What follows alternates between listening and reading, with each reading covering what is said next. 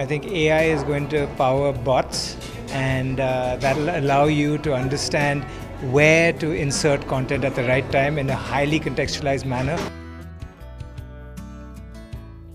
There's definitely information overload. There's a lot of clutter. There's a lot of crap out there because it's become a lot easier to create content. Content is king, but distribution is God. So you have to combine the two. It's about creating compelling content, and compelling content means that um, you need to give the audience something in exchange for their time and attention, whether it's entertainment, utility, information, education, whatever it might be.